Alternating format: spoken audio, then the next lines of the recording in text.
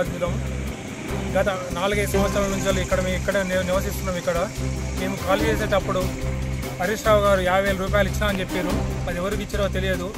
TRS లీడర్లకు ఇచ్చారా? మన కార్యకర్తలకు ఇచ్చారా? లేకపోతే మీరే తిన్నారా? అది మాకు తెలియదు. కానీ మీడియా ముందు మాత్రం మీరు యాభై వేల రూపాయలు ఇచ్చినా అని చెప్పారు. మాకు మాత్రం ఇవ్వలేదు. మీరు ఇక్కడికి వచ్చి మీటింగ్ పెట్టి ఎవరెవరికి ఇచ్చారో అది ఖచ్చితంగా మీరు ప్రూవ్ చేయాలని మేము మీడియా ద్వారా తెలియజేస్తాం ఒక విషయం. మీరు ఏదైతే హామీలు ఇచ్చారో మాకు ఇంటికి రెండు గేదెలు ఇస్తా అని చెప్పి రెండు రెండు వందల రెండు ఎకరా రెండు వందల రెండు వందల ఎకరాల జాగా ఇస్తా అని చెప్పారు అలాంటి హామీలు ఇంతవరకు నెరవేరలేదు. మీరు మళ్ళా కొండపొచ్చం రిజర్వేర్లో చేపల దాని మీద ప్రతి ఒక్కరికి వాటా వస్తా అని చెప్పారు అది ఇంతవరకు నెరవేరలేదు. ప్రతి ఒక్కరికి ఇంతవరకు ప్యాకేజీలు రాలేదు. కొంత చాలామంది ప్యాకేజీలు రాలేదు. కొంతమంది కిల్లు రాలేదు. ఒంటరి మహిళల పరిస్థితి మరీ దారుణం ఉంది. ఈ రోజు ములుగులో అక్కడ డబుల్ బెడ్రూమ్లో ఉన్నారు. వాళ్ళు చా ఈరోజు చస్తే బొంద పెట్టుకొని ఇట్లా ఇలా స్థలం లేని పరిస్థితి అయిపోయింది అలా మరి అంటే మరీ దారుణం ఉంది. మీరు ఇచ్చిన హామీలు ఏదో సుభిక్షంగా ఉన్నాయని చెప్పారు మీరు వచ్చి ఇక్కడికి వచ్చి మీరు ఇక్కడ చూస్తే మీకు అర్థమవుతుంది మా బాధలేందో మా కష్టాలేందో మీరు ఆ రోజు ఇక్కడ కాల్ చేసి అర్ధరాత్రి కూడా కాల్ చేసిపోయారు ఇంతవరకు మమ్మల్ని వచ్చి అడిగిన నాదులు లేదు ఇంతవరకు. మీరు దీని గురించి మీరు కష్టంగా మీరు రావాల్సిందే. మా ముందు మా ముందు- మా ముందుకు వచ్చి మాట్లాడాల్సిందే. గ్రామము కొండపశ్చిమ సాగర్లో ముప్పు గ్రామస్తులం మేము. మా నాలుగు గ్రామాలు ఉంటాయి ఇక్కడ. ఇగో ఇదే మా కాలనీ.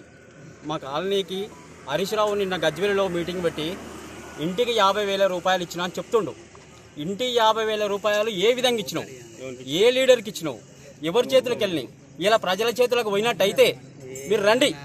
మా గ్రామాన్ని విజిట్ చేయండి. చేసి ఒక రోజు నువ్వు వచ్చి బహిరంగ సభ లెక్క పెట్టి మిమ్మల్ని గుండెల్లో పెట్టుకుంటా మీ గ్రామాన్ని. మీ గ్రామానికి ఏదైనా నేనున్నా అని చెప్పిన హరీష్ రావు ఇలా ద- ఎక్కడనో గజ్జి వెళ్ళా నీ గెస్ట్ హౌస్లో నీ ఫామ్ హౌస్లో కూర్చొని ప్రెస్టీజ్ పెట్టేంత మాత్రాన నువ్వు ఒక మనిషివి కాదు. నువ్వు ఒక లీడరు కాదు. నువ్వు ఒక మంత్రివి కాదు.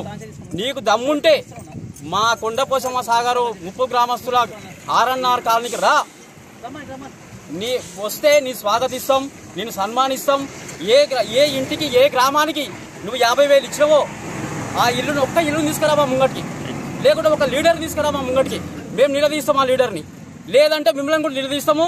నిరసన తెలుపుతాము నేను అడ్డుకుంటాము నిన్ను నీవు కావాలనుకుంటే నీ సిద్దిపేటకు వచ్చి కూడా ఆర్ఎన్ఆర్ కాలనీ మొత్తం వచ్చి కూడా అడ్డుకునే శక్తి మాకు ఉంది హరీష్ రావు నువ్వేమనుకుంటున్నావో వచ్చి ప్రజలకు ఇప్పటికైనా మీ దోపిడీ సొమ్ము మీ దొంగ సొమ్ము ఎక్కడైతే తిన్నారో ఆ సొమ్మును మొత్తం తెచ్చి ఆరన్నర కారణం వంచండి.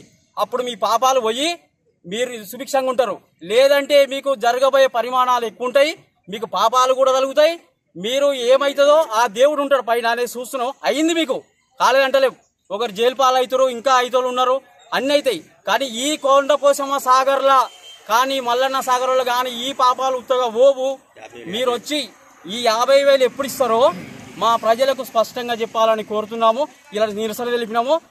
మీ దిష్టి బొమ్మను కూడా కాలబెట్టినాము చూసుకోండి. రైట్. నిరంతర న్యూస్ అప్డేట్స్ కోసం ఛానల్ని సబ్స్క్రైబ్ చేసుకోండి. పక్కనే ఉన్న బెల్ సింబల్ని క్లిక్ చేయండి.